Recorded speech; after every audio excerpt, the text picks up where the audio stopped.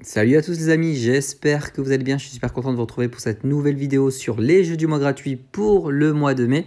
Du coup on va voir du côté du PS Plus et du Xbox Live Gold euh, ce qui nous est proposé pour ce mois de mai. Euh, alors déjà on commence, on n'oublie pas qu'il y a du coup pour le, Play at Home, donc euh, euh, restez en gros chez vous, on a Horizon Zero Dawn, du coup comme je vous l'avais déjà dit dans la vidéo précédente du mois dernier, qui est maintenant disponible. Alors il est disponible je crois, si je ne me trompe pas, jusqu'au 16 mai, je crois. Donc si vous l'avez toujours pas ajouté à votre bibliothèque, faites-le. Et puis on va voir du coup le cru de ce mois-ci. Ben, on va commencer du côté de Xbox pour une fois. Donc on va voir ça de suite. Alors voici pour les jeux du coup euh, du Gold, d'Xbox Live Gold. Alors on a, euh, on a du coup les dates en bas comme vous pouvez le voir, hein, donc les dates de disponibilité. Euh, donc, donc, dès le 1er mai du coup il y aura Armello. Alors Armello c'est un jeu de plateau stratégique qui est sorti un peu sur toutes les plateformes. À l'époque l'image m'avait énormément attiré, j'aime beaucoup la boîte du jeu. Et c'est vrai que l'univers est très mignon. Par contre c'est du tour par tour, voilà jeu de rôle tour par tour, mais c'est quand même un jeu stratégie de base. Et c'est vrai que les jeux de stratégie, j'aime beaucoup ça, mais j'ai tendance à vite euh, me lasser ou autre. Donc c'est pour ça que je l'avais jamais acheté, surtout qu'il était sorti un peu sur toutes les plateformes. Mais bon, dans tous les cas, euh, je vais pouvoir enfin y jouer le télécharger et le tester. Donc, euh, donc merci pour ce petit jeu euh, pour ce mois-ci, c'est plutôt pas mal. Euh, Donjon 3, bon, bah ça c'est des jeux d'Android, euh, ça sort en masse sur Android. Je crois qu'actuellement il y a le 4 ou le 5 qui est sorti dernièrement. J'y avais joué, j'aime beaucoup les Dungeons, ce sont des jeux un peu comme les Diablo, un peu avec un petit côté communautaire maintenant. on peut, je crois, je me rappelle bien dans le dernier, on avait des arènes où on pouvait avoir son, son quartier, son coin et le décorer, enfin je sais plus trop quoi. mais ouais, à voir ce que ça peut donner à jouer sur une console. À voir ce que ça peut donner.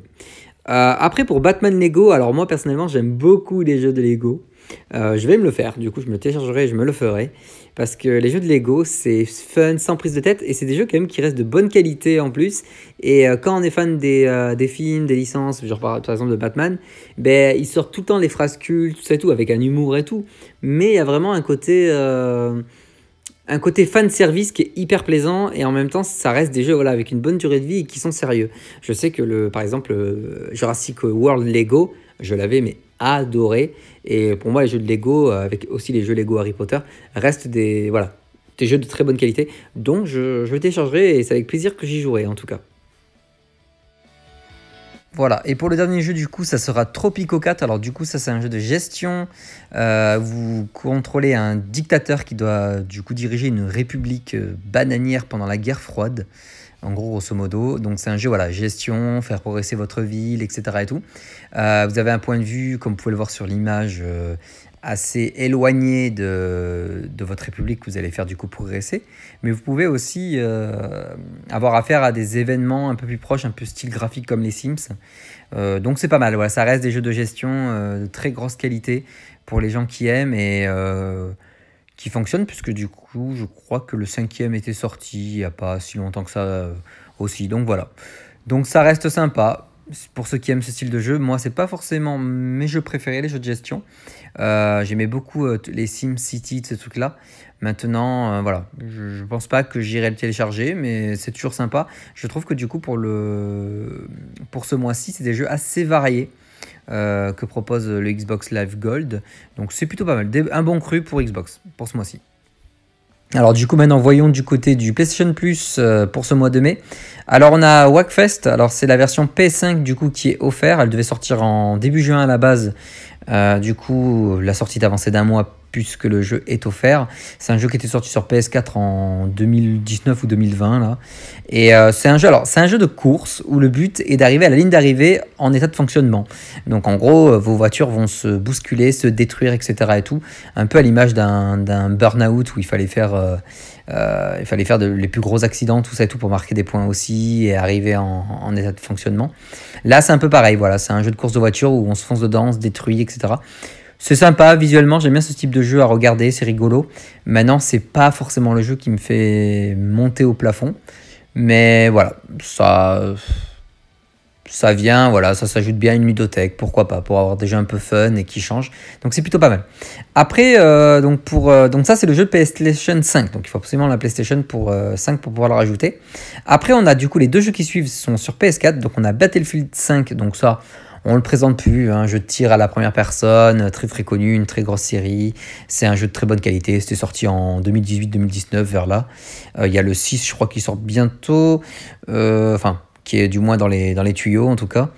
Euh, c'est pas mal, voilà, pour ceux qui aiment tout ce qui est Call of, euh, ces jeux de flingue et tout. C'est un jeu de très très bonne qualité, donc c'est plutôt pas mal ce que offre Sony. Et à côté de ça, on a euh, alors Stranded Deep. c'est un jeu de survie, donc en fait, vous arrivez sur une île abandonnée et vous devez survivre suite à un naufrage. Donc ça, c'est du classique. Il faut construire euh, votre maison de survie, vous préparer à manger, un peu comme tous les jeux style Ark, Conan, tout ça et tout, mais avec un côté un peu plus réaliste en fait. Un côté voilà plus réaliste, moins de, il n'y a pas de créatures euh, comme dans Ark, des dragons, des dinosaures. Voilà, c'est vraiment un côté plus réaliste. On pourrait se croire sur Colanta, puisque vous pouvez jouer bien sûr euh, seul ou à plusieurs. Donc on pourrait se croire sur ouais, c'est du Colanta, c'est de la survie sur une île paradisiaque. Hein au niveau du décor, tout ça et tout. Donc, euh, donc ça reste sympathique ce genre de jeu. Du coup, voilà, on a, un, on a un catalogue du coup assez varié aussi du côté de Sony. Maintenant, moi, c'est pas forcément des jeux qui me font euh, sauter, sauter au plafond, comme je disais tout à l'heure, parce que c'est vrai que les deux derniers mois étaient vraiment abusés, et même s'il y avait des jeux que je possédais déjà, je trouvais ça assez exceptionnel pour des amis ou pour des gens qui ne les avaient pas encore achetés ou autre je me disais, ouais, là pour le coup, l'abonnement est vraiment rentabilisé. Là, ça reste rentabilisé aussi, parce que l'abonnement, c'est quoi? C'est 6-7 euros par mois ou 8 euros, 8 euros euh, par mois, si on prend pas en dégressif. Donc ça reste rentabilisé avec ce type de jeu. Mais c'est vrai que moi, c'est pas forcément voilà, des jeux qui, qui m'intéressent de base, que j'aurais moi-même acheté, on va dire. Mais ça reste toujours plaisant à rajouter. Ça reste... Comme moi je dis, ces jeux-là, ils ont quand même une bonne force, c'est que quand vous recevez des amis euh, chez vous pour le week-end ou autre, qui ne jouent pas forcément à des mêmes jeux que vous, vous pouvez télécharger un jeu pour qu'il puisse jouer ou autre. Et ça, on n'y pense pas, mais c'est toujours sympa. Donc c'est pour ça que je le dis toujours. Ajoutez les jeux à votre bibliothèque quand vous avez le mois d'abonnement. Ça ne vous coûte rien et ça vous permet d'étoffer votre, votre ludothèque de jeux vidéo, tout simplement. Euh, donc voilà, j'espère en tout cas que cette vidéo vous a plu. Elle est peut-être plus courte que les autres du, des mois d'avant.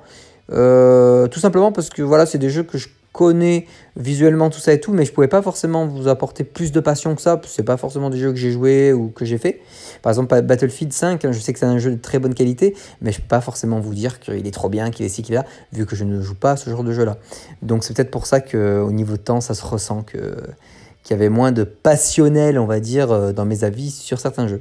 Donc voilà. Mais en tout cas, voilà, c'est un mois très varié, euh, très très varié. On va pas, on va pas le reprocher euh, pour les deux camps en tout cas. Donc voilà, je vous dis à très bientôt et on se retrouve du coup pour au mois de juin pour la prochaine vidéo dans ce genre-là. Et entre temps, je vous prépare pas mal de choses pour ce mois-ci, dont une nouvelle série de let's play de vidéos qui arrivera du coup vers la mi-mai. Donc voilà. Donc je vous dis en tout cas à très bientôt les amis. Prenez soin de vous.